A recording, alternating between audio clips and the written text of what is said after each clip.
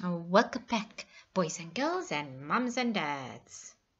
What do you think we're going to do today? Well, this lesson is going to make us think about how dangerous plastic is for our environment and for us. You will need paper, colors, scissors, glue. Activity 1. Plastic is killing our world. Plastic is ending up in our sea, whether we like it or not.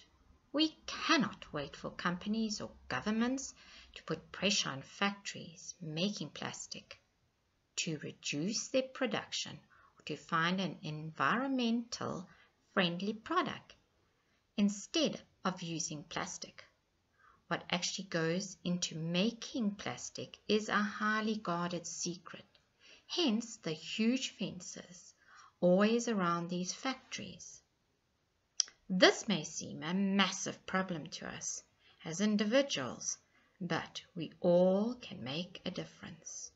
Everywhere around the world, people are being educated on this enormous problem. A plastic bottle takes 700 years to decompose.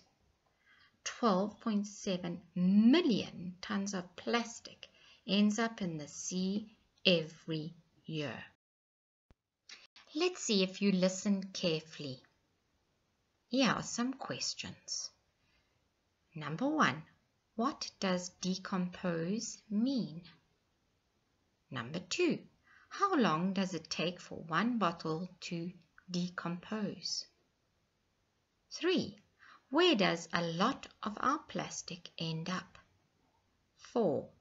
Find three words that describe what a great problem plastic is to our environment.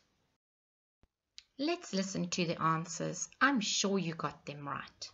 Number one. Decompose means to break down or decay, like tree leaves that decompose into dirt or nice compost. It is to remove or undo. How long does it take for one bottle to decompose? It takes 700 years for one plastic bottle to decompose. 3. Where does a lot of our plastic end up? Sadly, most of our plastic ends up in the sea.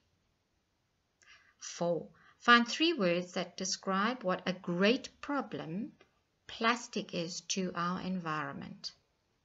Plastic is a huge, massive, and enormous problem. Activity 2 Great Pacific Garbage Patch.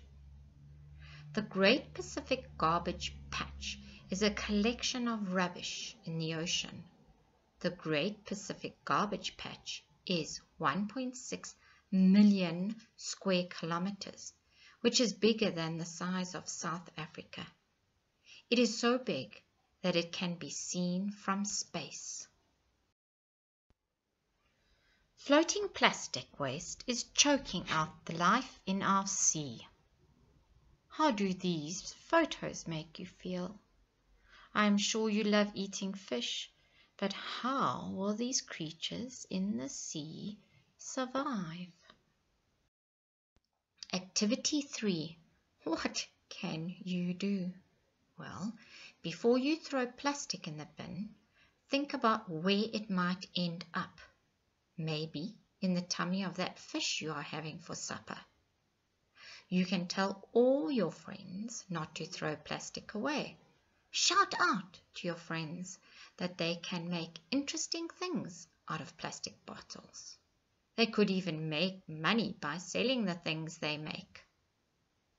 Now make posters to stop this littering. Draw a picture and write a message on each poster. More fun! How about you collect bottles, plastic bottles, instead of throwing them in the bin and make interesting things out of the bottles? Here are some ideas. Look at those beautiful pictures you can do it, boys and girls. What about making bird feeders too? Well done to you all. See you next time.